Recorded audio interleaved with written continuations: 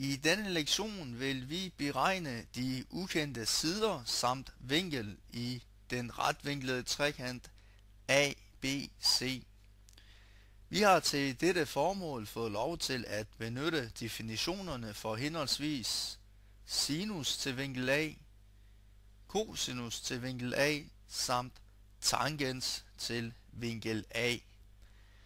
Lad os starte med at kaste et blik på vores retvinklede trekant ABC. Vi har fået oplyst, at vinkel A er på 55 grader. Vinkel C er retvinklet, det vil sige 90 grader. Vinkel A's modstående katete er på 7. Vinkel B er ukendt.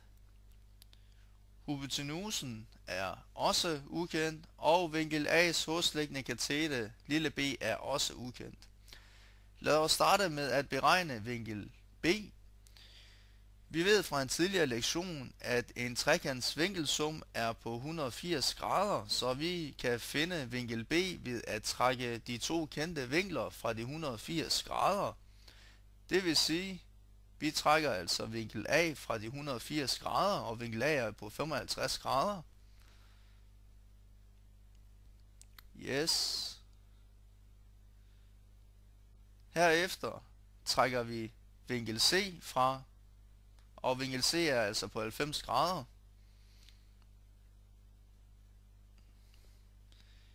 Yes.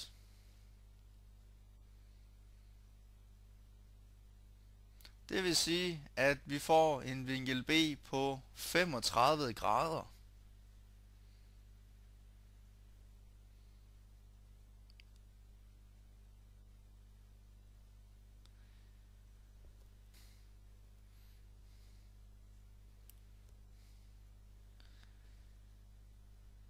Yes. Og nu hvor vi altså har fået opgivet vinkel A og vinkel A's modstående katete, der kan vi altså ved hjælp af ligningen herop finde hypotenusen, og det gør vi altså ved at isolere lille c, og vi kan anvende den nederste ligning her, hvor vi kender tangens A, og vi kender vinkel A's modstående katete, der kan vi altså isolere vinkel A's hosliggende katete. Så lad os gøre det. Vi har altså tangens til A, der er lige med vinkel A's modstående katete divideret med hosliggende katete.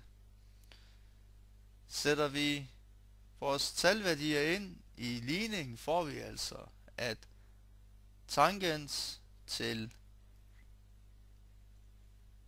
de 55 er altså lige med 7 divideret med b. Og vi skal altså finde b, det gør vi ved at isolere b. Så vi starter med at gange med b på begge sider af lighedstegnet.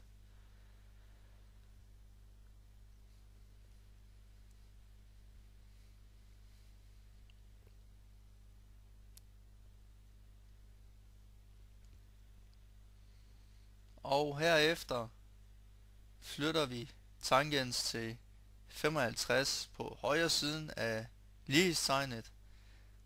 Det gør vi naturligvis ved at dividere.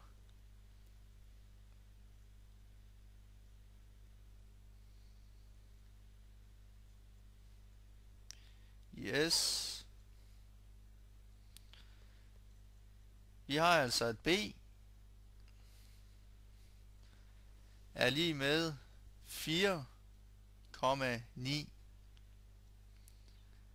Det er så længden af vinkel A's hoslæggende katete lille b.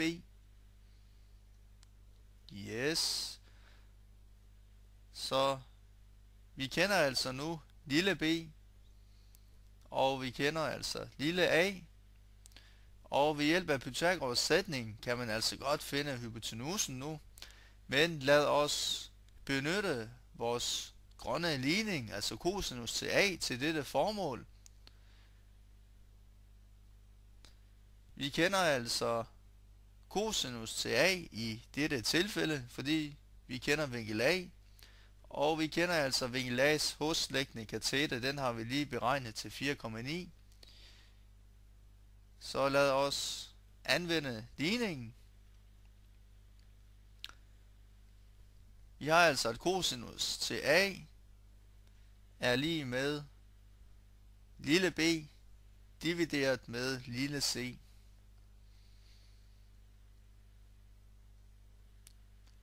Lad os indsætte vores værdier ind på deres respektive pladser, så får vi altså et cosinus til 55 er lige med 4,9 divideret med c, yes. Og vi flytter altså c på venstre siden til at starte med. Det gør vi naturligvis ved at gange med c på begge sider af lighedstegnet.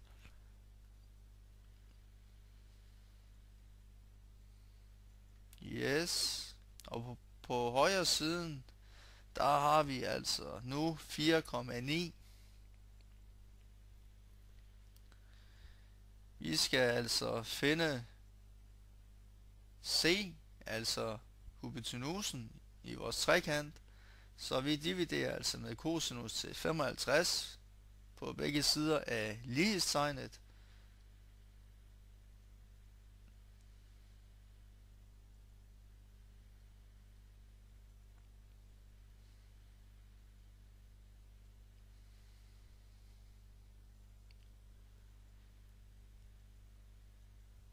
Yes.